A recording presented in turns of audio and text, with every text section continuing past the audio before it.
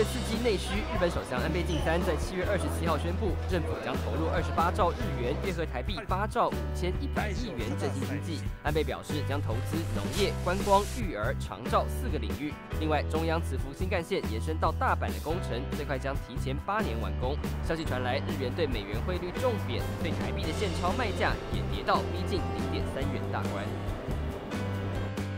近年来，法国频频遭受恐怖攻击。七月二十六号的教堂攻击案之后，多家法国主媒广播电视频道宣布不再刊登恐怖分子的照片，甚至不公开名字，目的是避免把恐怖分子塑造成烈士，也防止更多人模仿跟进。法国第二大报《世界报》透过社论呼吁，全体社会必须一起对抗恐怖主义，媒体的角色也非常重要。